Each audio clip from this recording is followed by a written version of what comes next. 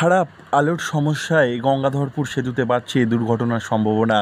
সেতুর উপর থাকা একাধিক বাতিস্তম্ভের অবস্থা বেহাল। এই সমস্যার কথা একাধিকবার প্রশাসনের কর্তা ব্যক্তিদের কাছে জানিয়েও কোনো কাজ হয়নি কখনো। এমনই অভিযোগ স্থানীয় বাসিন্দাদের। গুরুত্বপূর্ণ এই সেতুটি কাকদ্বীপ ও পাথর প্রতিমার সড়কপথে যাতায়াত করার জন্য একমাত্র সেতু বলে খবর।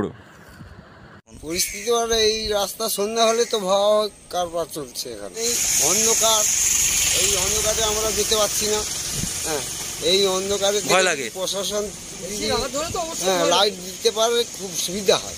কতদিন নেই এই লাইটগুলো হ্যাঁ ওই তো আজকে না বললে না বছর খানি অনেক হবে। বছর তিনেক হবে। হ্যাঁ। কি বলবেন লাইটগুলো লাগা লাইটগুলো প্রশাসন লাগা।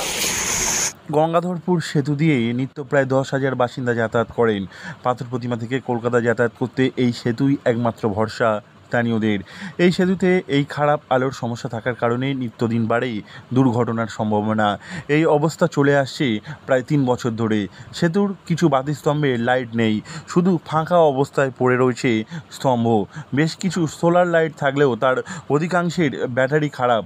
রাতে সম্পূর্ণ অন্ধকারে ডুবে যায় সেতুটি। অন্ধকার তো এদিন নেই তো অনেক দিন থেকে তো নেই। কতদিন ধরে? হ্যাঁ হ্যাঁ এক বছর। এখন অন্ধকার লাইট নেই না মানে অন্ধকার তো।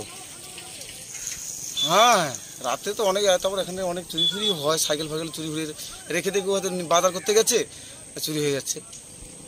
হ্যাঁ হ্যাঁ হ্যাঁ চলাচল তো অস্বাভাবিক হবে একটা ফাঁকা জায়গা এর মধ্যে যাতায়াত মানে কষ্ট তো হবেই।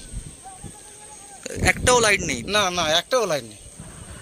রাতে এই সেতুতে আলো না থাকায় বাড়ে অপরাধমূলক কাজকর্মের সম্ভাবনা, তেমনই বাড়ে দুর্ঘটনার সম্ভাবনা, এমনই দাবি স্থানীয় বাসিন্দাদের।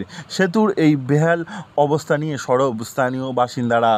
এ নিয়ে এক স্থানীয় বাসিন্দা রবীন্দ্রনাথ প্রামাণিক জানান, সেতুর আলোর সমস্যা নিয়ে একাধিকবার প্রশাসনের কর্তা ব্যক্তিদের কাছে দ্বারস্থ হয়েছেন তারা।